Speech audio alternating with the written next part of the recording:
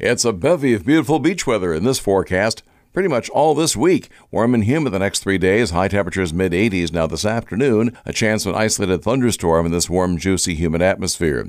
Partly cloudy tonight, upper 60s. Tomorrow, mostly sunny mid 80s. Same idea Thursday. And then a weak cold front Thursday night will lower the humidities to some degree and make it more comfortable with sunny low 80s Friday and probably Saturday and Sunday too. Only two foot seas the next two days and five or ten knot southwest winds through Wednesday. Smooth sailing to and from the islands. Sunsets 8:03 tonight. It got up at 5:31 this morning. I'm Dave Reed.